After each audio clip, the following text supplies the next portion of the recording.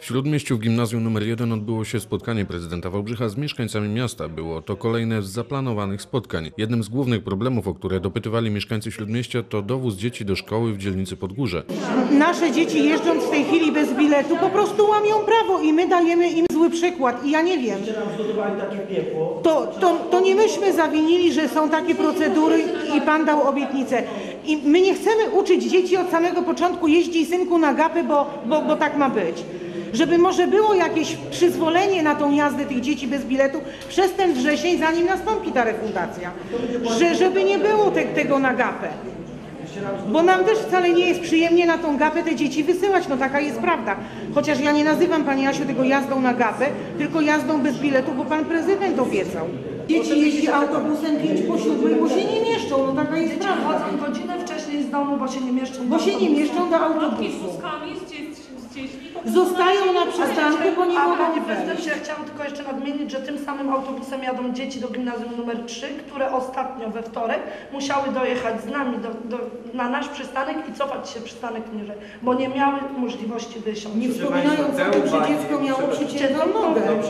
My te wszystkie, my te wszystkie obserwacje przyjmujemy, będziemy korygować, naprawiać. Państwo dajcie nam tydzień, parę dni, dostosujemy się do tego i będzie to działało przez następne wiele lat.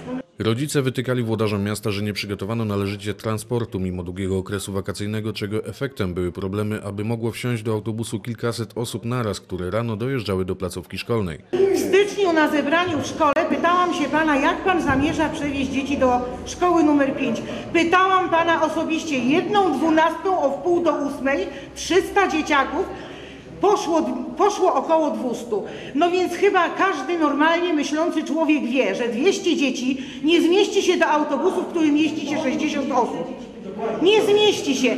Mógł przewidzieć, że jeżeli obiecał im darmowe przejazdy, to rok szkolny w tym roku zaczął się 3 września, nie 1 października.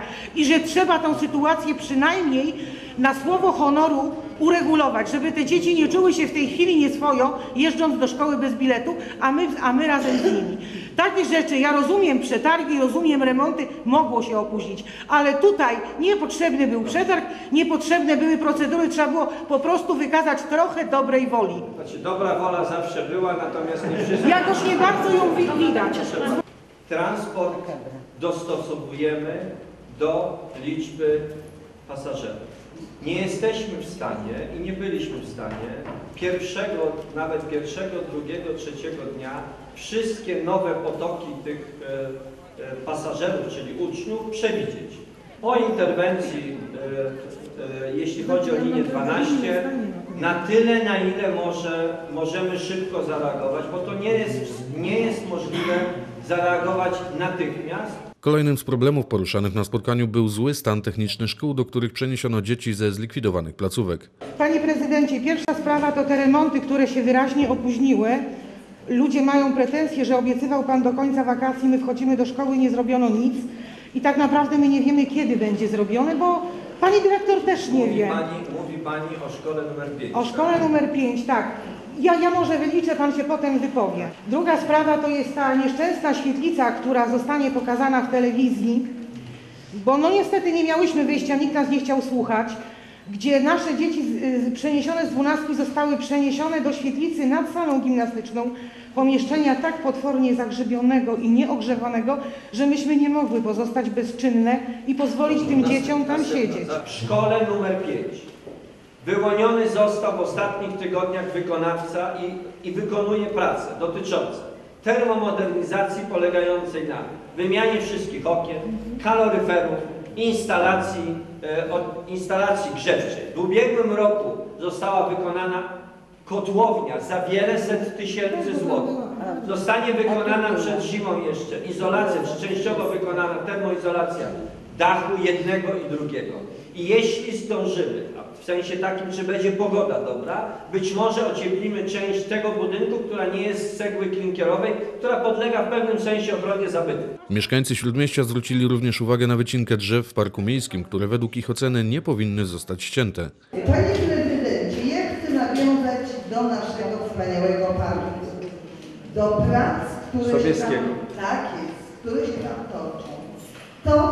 się dzieje, to jest po prostu zbrodnia. Piękne drzewa o obwodzie minimum y, jednego metra. Jest tych drzew przeznaczonych 200, do wycinki w sumie około 400. Rozjeżdżone są układy korzenne, padają ptaki. Nikt tego nie kontroluje. Raz jedyny był cały orszak 16 yy, sierpnia. Moja ogromna prośba, żeby Pan służbom zwrócił uwagę na to, co tam się dzieje. Ja tego tak nie zostawię. Ja już obeszłam starostwo, panią Karolewską, wszystkich, kogo się da. Proszę, niech uniosą cztery litery za biurek i pójdą i zobaczą, jak tam wygląda cała sprawa. Dobrze. Jak jest bałagan. Pani opinie, pani, pani opinie, pani opinie są w Urzędzie Miasta znane i pani opinie są i pani opinie są analizowane od samego początku. Ale ja chcę Państwu powiedzieć, że żadne drzewo, żadna gałązka w parku nie byłaby wycinana bez wcześniejszego uzgodnienia z instytucjami i z osobami do tego powołanymi.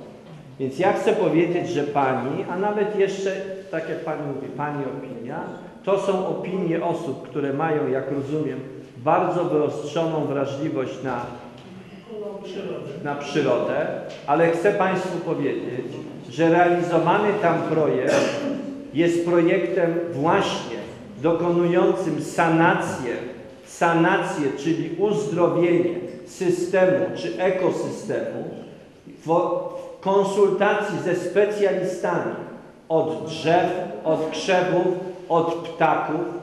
Gdyby tak nie było, to nie dość, że nie byłoby pozwolenia na budowę, nie byłoby przyznania środków unijnych, nie byłoby całego pakietu zmian, które w tym drzewostanie trzeba dokonać, żeby ten park nie zaginął. I proszę Państwa, ja rozumiem, że Pani przyniosła, bo to chyba Pani przyniosła, Pani Korolewskiej, tego nieżyjącego, padłego ptaka, ale proszę Państwa, to nie jest tak, że te prace są prowadzone bez konsultacji z ornitologami. Nie ma zgody w projekcie na wycinkę 400 drzew. Nie ma nigdzie tej zgody. Ani u projektantki, którą osobiście znamy. Yy, 400, z czego 200 zdrowych, ponadmetrowych drzew zaraz po ścięciu zostało wywiezionych. Gdzie te drzewa są? Gdzie te drzewa są? Proszę to państwa. wydał na nie W okolicach Zakopanego. Nie, Świdnicy. W okolicach Zakopanego, tam jest drewno droższe i z sudeckich lasów tam się Proszę Państwa, proszę Państwa, możecie Państwo i macie Państwo prawo zgłosić swoje zastrzeżenia do Regionalnej Dyrekcji Ochrony Środowiska. Ma ona swoją siedzibę również w Wałbrzychu. Proszę Państwa, ja bym chciał, żeby przy tego typu decyzjach zachować jednak elementarny poziom emocji. Bo jeśli będziemy traktować każdego, kto chce zrobić coś w parku, jako e, przestępcę, to ja pytam się, jak odnieść to do głosów tysięcy Wałbrzysza, które mówiły, panie prezydencie, trzeba w Parku Sobieskiego zrobić porządek, bo on niszczeje. Została dokonana, została dokonana analiza i ta analiza mówi, że to właśnie trzeba zrobić. I Państwo macie prawo, bo ja nie jestem adresatem, Państwo macie prawo do Inspekcji Ochrony Środowiska złożyć to, złożyć swoje uwagi, one będą rozpatrzone Kolejne spotkania odbywać się będą w szkołach podobnie jak to miało miejsce w ubiegłym roku. Nie są jednak jeszcze znane terminy spotkań.